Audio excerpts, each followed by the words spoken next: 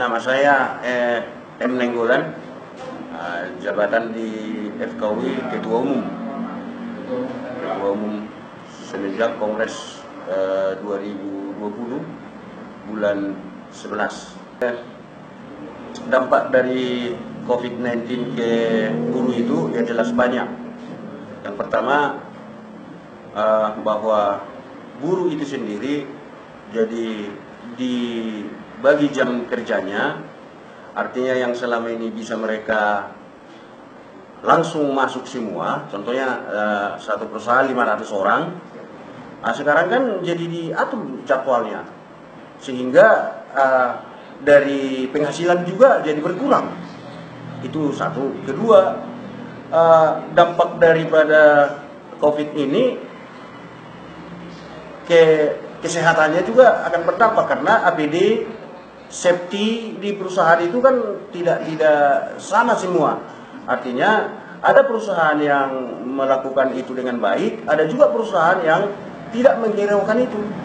Jadi artinya dampaknya dari segi gaji juga jadi berkurang karena jam kerja berkurang.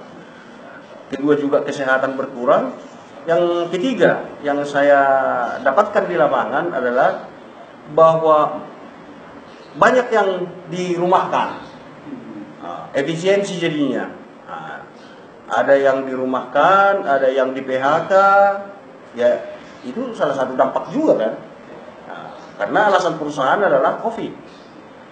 Yang terakhir mengenai COVID mereka memproduksi uh, barang tapi tidak bisa dikirim. Itu satu. Kedua mau mendatangkan barang suku cadang atau bahan baku dari luar itu lambat. Sehingga mereka di perusahaan itu juga uh, kerjanya jadi dibagi-bagi gitu. Jadi sehingga mengurangi uh, gaji mereka salary mereka. Ah itulah dampak covid itu.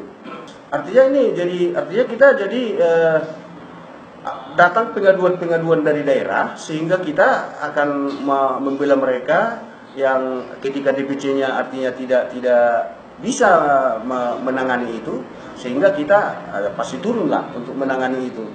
Jadi artinya per daerah itu kan berbagai macam apanya.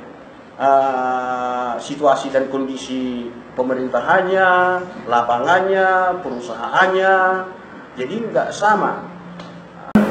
Jaga jarak, hidup yang uh, safety artinya